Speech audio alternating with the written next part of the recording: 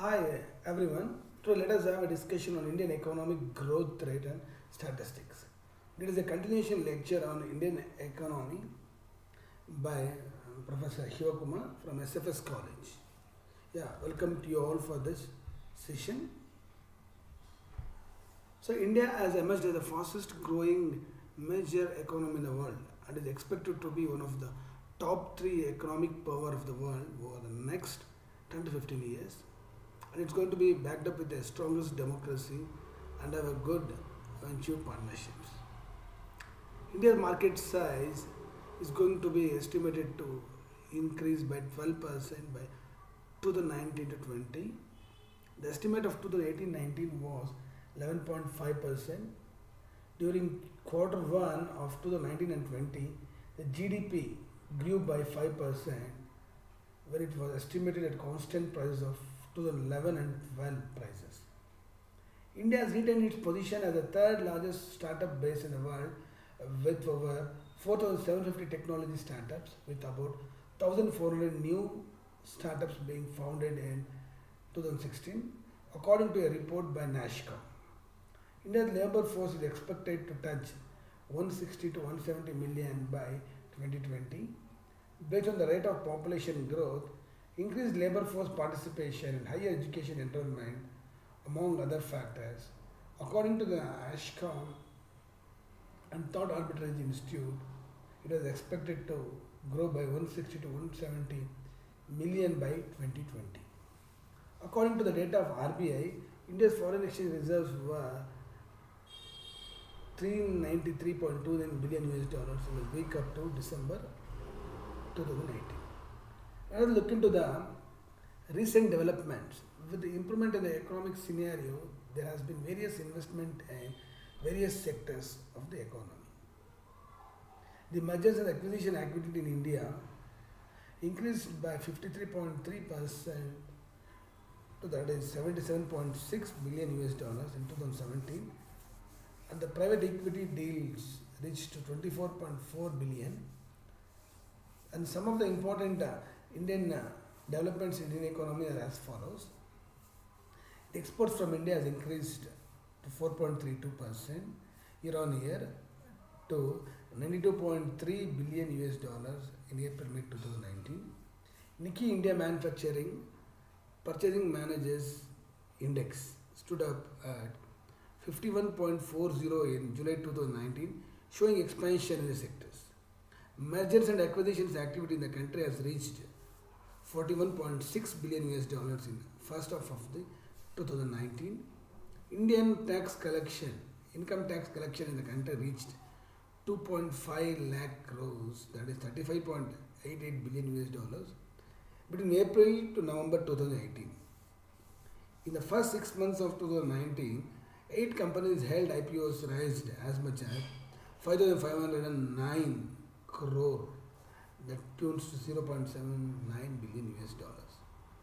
Indian forest in, foreign investment, India's foreign direct investment equity inflow reached to 436.47 billion US dollars between April 2000 to June 2019.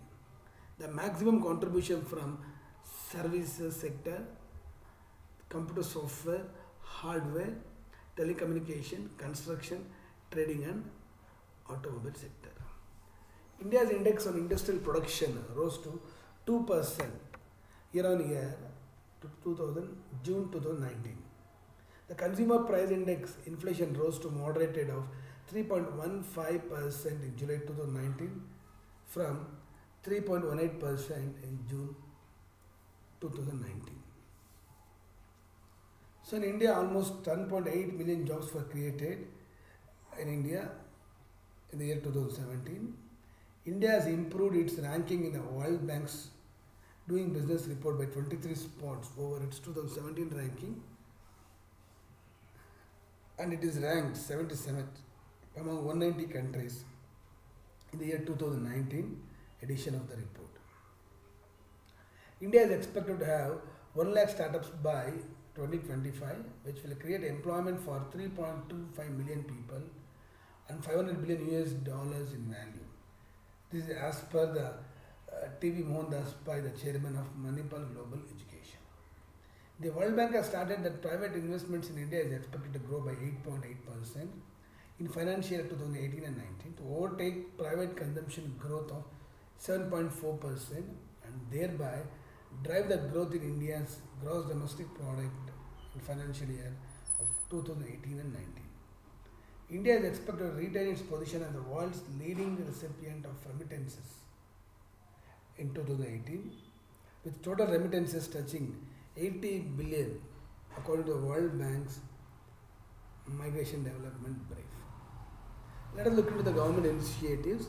The Union Budget of 2018 and 19 was announced by Mr. Arun Jaitley, Union Minister for Finance, Government of India, in the Parliament on February 1st, 2018.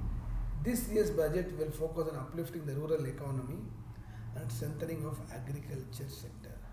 Healthcare for the economically less privileged. Infrastructure creation and improvement in the quality of education of the country. As per the budget, the government is committed towards doubling the farmers' income by 2022. A total of rupees 14.34 lakhs crore will be spent on creation of livelihood and infrastructure in rural areas. Budgetary allocation for infrastructure is set at 5.97 lakh crores for 2018 and 19. All-time high allocations have been made to rail and road sectors. Recent initiatives and development undertaken by the government. In India, Atal Innovation Mission AIM, flagship initiative of Niti Aayog, launched the Atal Community Innovation Centers program in Niti Aayog, which aims at spurring community innovations in underserved and unserved areas of the country. National Institute for Transforming India, Niti Aayog, released a strategic document titled Strategy for New India at 75 to help India become a 4 trillion US dollars economy by financial year of 23. Government of India is going to increase public health spending to 2.5% of GDP by 2025. For implementation of agricultural export policy, government has approved an outlay of 206.8 crore for year 2019, aimed at doubling farmers' income by 2022.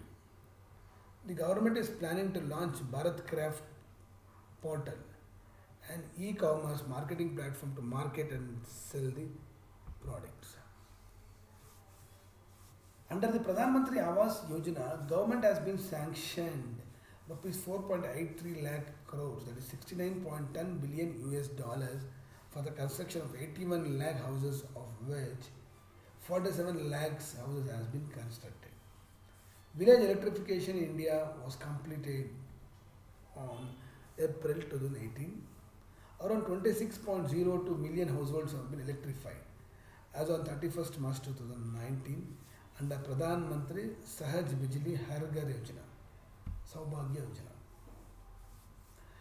Minister's Employment Generation Program PMEGP will be continued with an outlay of 5,500 crore, that is 755.36 million US dollars for three years from 2017, 18, 18, 19, and 19 to 20, according to the Cabinet Committee on Economic Affairs.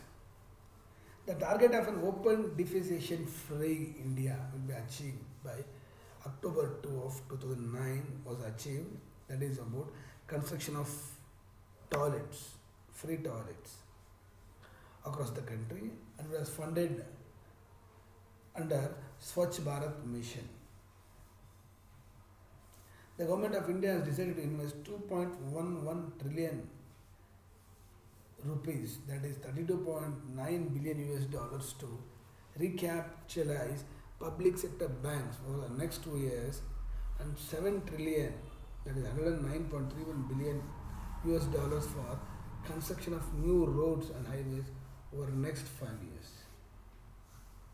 As per the budget 2019 and 20, public sector banks will be provided with a capital infusion of 70,000 crores, allowing NBFCs to raise foreign debt.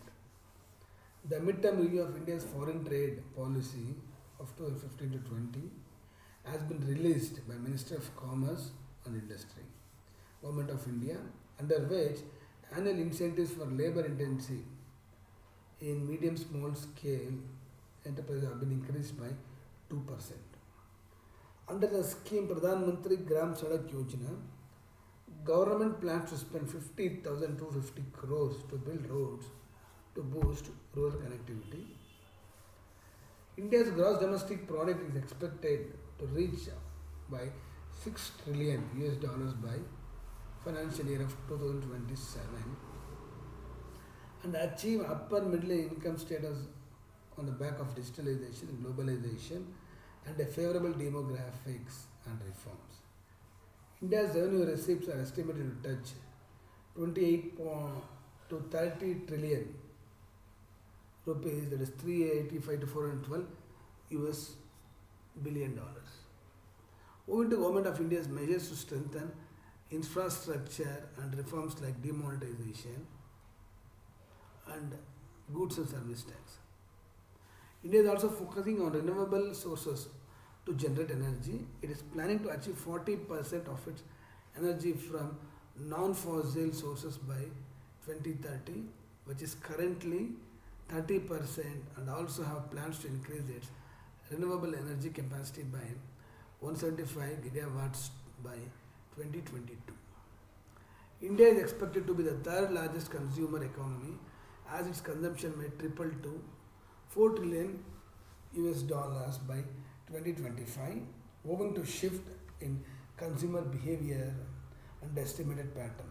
According to Boston Consulting Group, and is estimated to surpass USA to become the second largest economy in terms of purchasing power parity by the year 2040. According to a report by PricewaterhouseCoopers,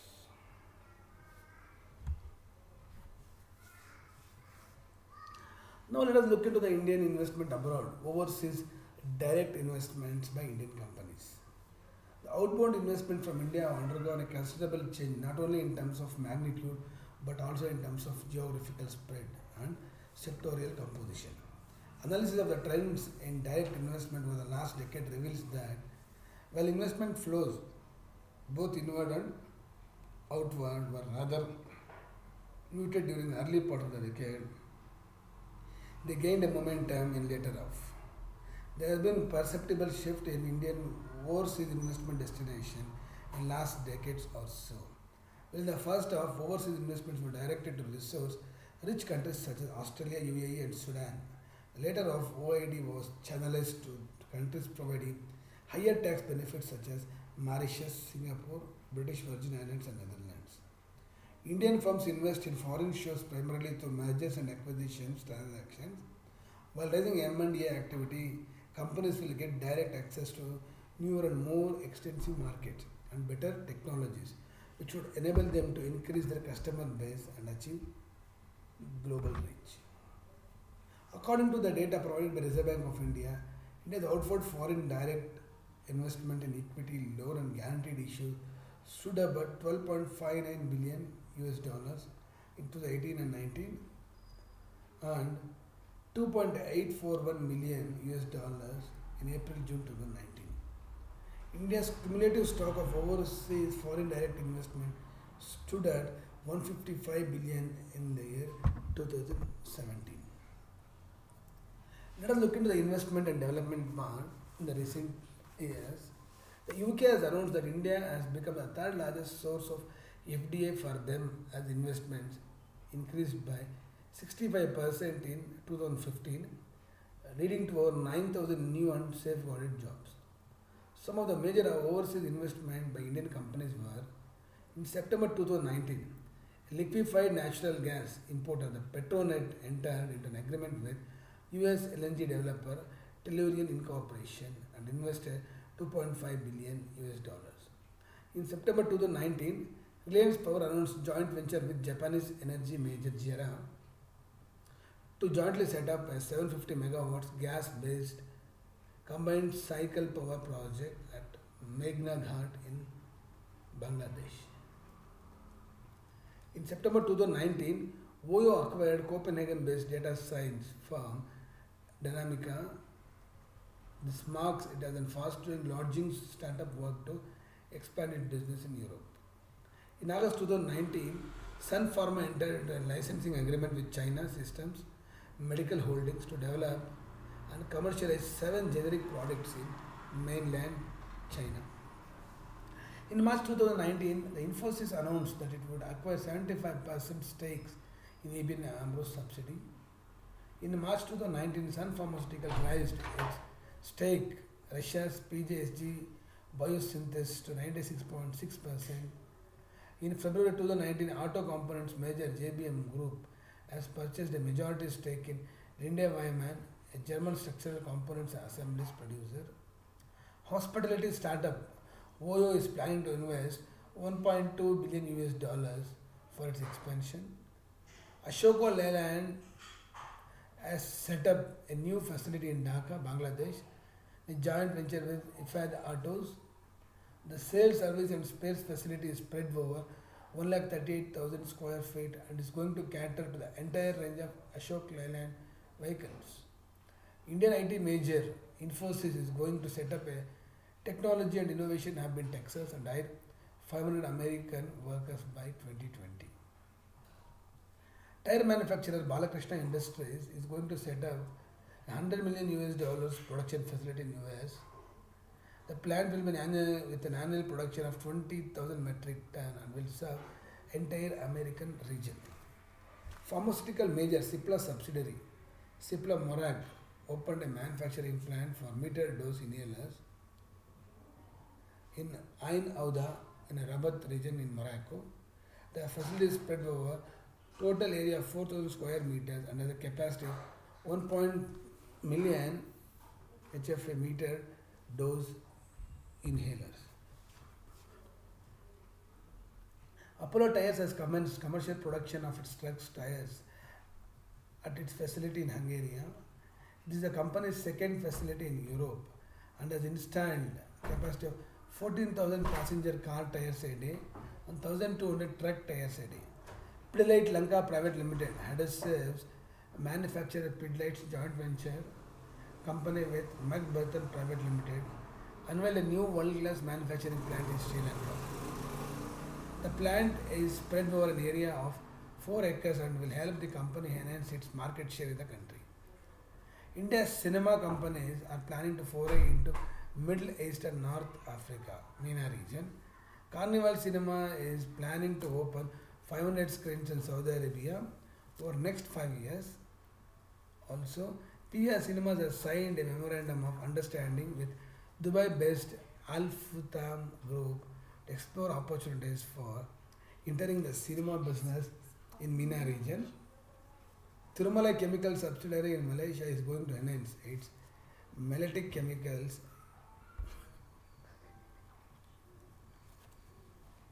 in exploring the possibility of setting up a greenfield facility for production of food ingredients in US, which will serve the North American European markets.